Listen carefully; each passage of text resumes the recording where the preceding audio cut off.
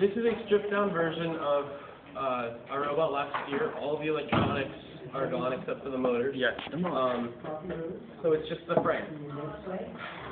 What it basically, I'm going to quickly just explain what everything is.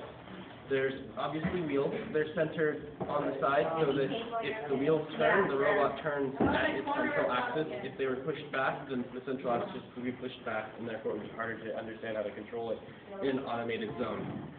Um, if it had to turn ever. Uh, that was the point of that. It's got acrylic sheeting that is positioned vertically so that we could easily grab the electronics. It turned out to be a little bit weird for electronics though, because if a robot was ever jostled, then the electronics would turn off and then turn back on, um, which sometimes made our robot go crazy, which was kind of odd. Uh, Unexpected it's consequences. lowered base, so that, which is what you can see here. It's got a lower base, the center of gravity is lower, so that when this arm is flying around, it's not gonna hurt the robot at all. That was kind of just a stupid thing that I wanted to do, and I'm sorry everyone for doing that. Um, let's see. It's got two motors that control how it moves. If one motor goes forward, the other backwards, it spins. And it's got one motor to control the arm. The arm assisted by a rubber uh, adhesive elastic that adds force to the movement of the arm. So basically, and then up here there was a servo so we could control the opening and closing of the claw. Uh, the robot was supposed to move, bend the claw down, and then close on the pillow. There are several flaws with this design. Uh, one is none of us are very straight with a hacksaw, so it looks kind of bad. Um, mostly like, no, that's fine. It's like when I was cutting this out, that was just that was just bad. And then on this side, that was just bad. There's just random cuts in this, and there's random holes. Also, when we had someone making new holes, real. they decided to just freehand it. Yeah, I know. It was, they decided to freehand it, and it didn't work out right, even though they were told specifically not to. So, if you ever want to do something that is different than what the group agrees that you will do, please bring your considerations up. Don't just go off and do something. If you go off and do something, you can mess up, and it will be your fault. I don't want to be a jerk, but like, we had a bunch of extra holes because someone decided that they would just freehand instead of using a drafting machine and actually measure it. Um, let's see, failures. Another failure that is somewhat similar is there's a piece of, uh, fake wood. It's just wood that was, uh, chopped up and added, added glue. It broke right here, which meant that this bottom part just sort of would bend over. And so I fixed that with cabling, which doesn't work very well. If this had instead been something stiffer like plastic sheeting, it would not have done that, and therefore the cable would not be needed. Um, our claw itself is a little bit weak. Uh, it's the sheet metal that we used that I picked up was too thin for our application, so several times the robot went down like this and then ran into a wall and bent the entire claw up, which was bad. Um, yeah. So just design-wise, there are several, several things that could have been improved. Another thing is that the claw didn't grab with as much power as we wanted, even with the servo, so we should have replaced our servo with a stepper motor. Um, there's a lot, we used a lot of, um, Velcro in order to attach our electrical components to things. It works pretty well for some things, but not very well for others. Uh, this year, I hope to use more metal bolts and more like brackets and bracers, which we can machine, um, pretty quickly and easily in order to hold important things to the robot. We had to get super Velcro in order to hold our, it's super Velcro, it's ridiculous, I can't well, this is just dead. It's really hard to use, uh, get things off of. We had to use Super Velcro in order to get our, um, servo that we were using to keep from flying forward because of the way that friction works. Anyway, there were a lot of things that we could have done better on this robot, and I hope that this year we take into account all of those things. Um, now I'm just gonna quickly talk about materials and what things do what we have the ability to use pretty much everything. If you have an idea for something, sketch it out, and then we're probably going to do runs to like Urban Ore and other uh, secondhand shops so that we can find, they have random pieces of metal and specialty items that might specifically serve whatever function we want them to. Um, that's one of the greatest things about living in the Bay Area is that people just have a bunch of junk laying around that they get rid of, and you can go and find that junk and put it on your robot. Um, and it can usually be better than a specific, or better, or just simpler, or cheaper than a specifically machined object. Uh, just to give you a couple of ideas on what materials are acceptable. Uh, last year, the robot had to be under 18 pounds. Our robot was like nine pounds or something really small, um, simply because we didn't use all that much material. Uh, some, the heaviest robot, I believe, was like the conveyor belt robot, and it was 16 pounds. Uh, weight probably won't be a problem unless we make essentially a metal box that runs around and does whatever the object is. Um, when you're thinking about materials, you have to know what the limits of your material are. For example, car, uh, this will only be strong that direction and that direction. It will not be strong if you have opposing forces on it. Uh, anyway, so if we were using this for anything, we'd want it to be like a bumper or something. We'd have to make sure that we weren't putting force in a specific place that would make it snap. Uh, one thing to notice is that there's a difference between tensile, what are the two? Strength, compressive, and ductile strength? Yeah. Yeah. So there's compressive strength, which is when something is really good at having pressure applied to it. Wood is a compressive material that is incredibly light. Wood will probably be one of the items that we use a lot because wood is incredibly light, it's incredibly strong, it's incredibly easy to use and mess with. The only problem that I have with wood is that it's kind of expensive. This is hardwood pop, yellow poplar. I got it on sale from Home Depot um, for a dollar for a large sheet, but it's actually more like nine to ten dollars a foot. Our money cap for extra extra pieces that they don't give us in the kit bot is probably going to be about two hundred dollars. So we have to always be considering what's the cheapest way that we can do something. Um, I have random bits of metal lying around. This actually came from a piece of like IKEA furniture. It's really strong. It's kind of heavy. I don't really know what we could possibly use it for, except beating things.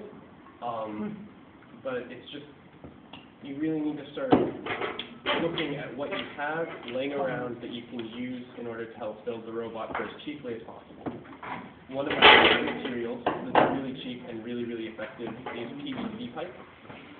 PVC pipe is really easy to snap together, uh, very, very strong along the pipe, uh, really, really cheap, and really, really quick to cut.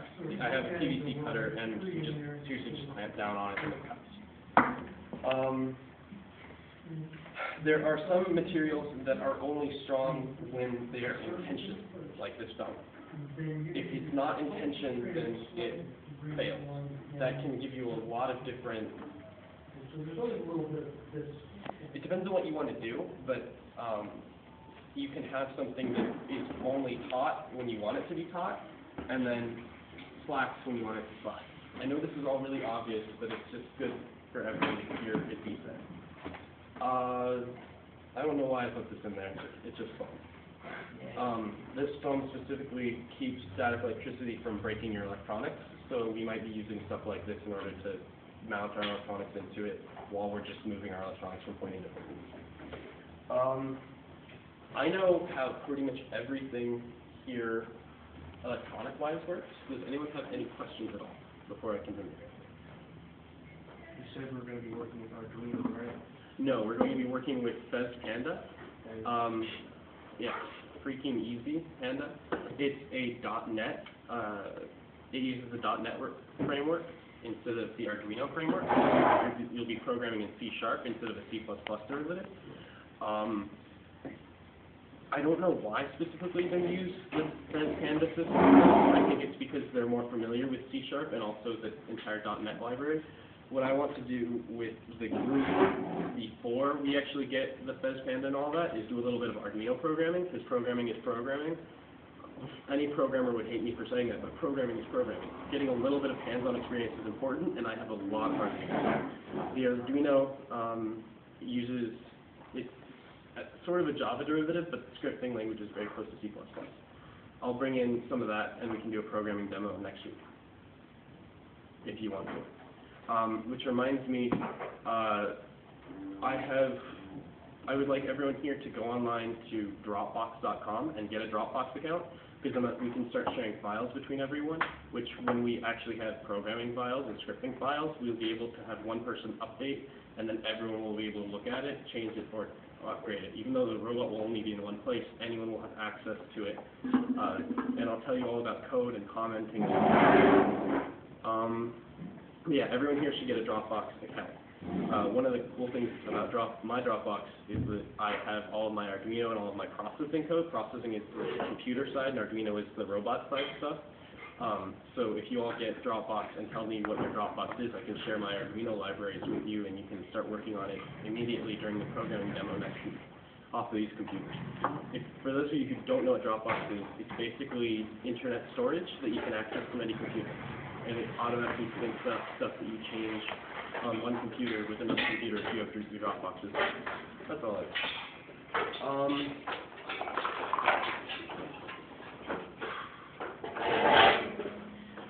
the entire object of the game is probably going to get something, I don't know what, from point A to point B. And so that's basically just get your robot to perform some physical operation and then as quickly as possible and as accurately as possible, and then get it to, uh, do it accurately, and then get it done. Last year, what we had was, we had a lot of robots in the operated zone running interference, and almost no robots in the, um, automatic automatic zone. Uh, because I've spent a lot of time playing with sensors in the past year, I have a lot of sensors, and I have a lot of experience with sensors. Anyone remember the range sensor that I was playing with? Yeah.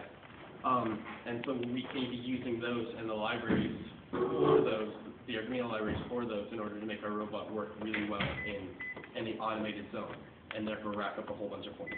I don't know where the sheet that was like the rules from last year for newcomers to look at. I don't know where that is. I'm sorry. I handed it to someone who was new and I never got it back. Um, yeah. So yeah, the major thing that I wanted to get accomplished today was materials are good for different things. Um, and it's important to know which materials are good for what. One thing that I'm going to say again is that we have the ability to use the uh, AutoCAD software in order to draw shapes that we can then get laser cut on the acrylic or on the, uh, can't remember what the white stuff's called. So if you, so we have a lot of variability on what we do with the white plastic. The problem with the white plastic is that it flexes in one dimension, but it's also very liable to shatter, and that's not something you want your robot to ever do. Um, but yeah, that's one of our major advantages, is the ability to rapid prototype any design that we have. Uh, and then if we did that, we wouldn't have problems with cutting and we wouldn't have problems with distances or anything like that. That's one of the things I'm really psyched about. If you draw a hole in AutoCAD, that hole is going to be that size, so, and in that position on the eventual thing, so we'll never have a mishap like the wheels don't match. Um, yeah, that was terrible, wasn't it? Um, yeah. So, all I want you guys to get from this meeting is that form fits function and download Dropbox. Yeah, you can actually see that this wasn't quite as tense as I wanted it, tense, yeah, tense as I wanted it to be, so I actually shoved a nut under here, so that it would actually do what I wanted it to. Yeah, there's, there's too many ghetto fixes on this robot, like, We have to oh, I used a lighter to melt the solder in order to hold the spring open. So there are too many ghetto fixes on this robot, which is why I want to start early, um, and start strong. Yeah, the more preparation that you have for anything, the better off it will be. Since we've ended a little bit early, I'm going to go off into my next topic, which is actually going to talk about next week. Don't be afraid to fail ever. We're going to have failures, we're going to have successes, hopefully, we're gonna have a really big success at the end. Um, but you'll never be able to improve if you're afraid of, afraid of failures. Uh, there's a lot, one of my favorite things about trial and error is that it's the way that we were all made. Um, we're basically giant, the earth is basically one basic, basically one environment for trial and error. And that's basically all that evolution is, is trial and error working over time in order to make us as we are. So if randomness can make us from trial and error, I think that with a little bit of thinking, we can use trial and error to make something awesome. Although we don't have billions of years. We don't have billions of years, but we also have, like, creative thought. Okay, You know. true, Good. true. So we're a step above microbacteria. Yes, or two, or three, you know. Although some people might be considered macrobacteria. Um, yeah, so don't be afraid to fail. Uh, I'm, I hope that we have enough time to make mock-ups of any design that we want. Last year, we did a lot of theory and not enough mocking up, so we just sort of went ahead and did it on the robot. Um, you can make mock-ups out of cardboard, you can make mock-ups out of any material. I would like for anyone who has an idea of how they want their eventual robot to work, to come up with some form of mock-up, whether it's on the computer in 3D, on the computer in AutoCAD, or in real life, so that we can find any faults in the robot very quickly. So is there like a prize for this? Uh, it's some, it's a small prize. Uh, it's mostly a plaque. It's a very big plaque. You can see, we actually have them. Mr. Merrill, do you still have the plaque from last year? No, I think people take home. Mm. Mm. No, the big one. I have to look at it. Okay. If there are any students that are in the building for Friday night school, Friday night school will be Nick. held on No, I'm not. Nick. No. after school, right I after. didn't even know they had Friday night school. Sure you didn't. Are the early Wednesday, because we have more time. See, Ms. Walters, put it on the thing. These are like the same. No, these. Anyway, I'm gonna stop filming now. If- Okay.